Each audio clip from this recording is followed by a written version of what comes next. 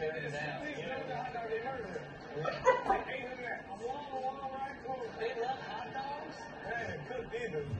them. but they all got like the same haircut. like, they do. We're trademark. Yeah.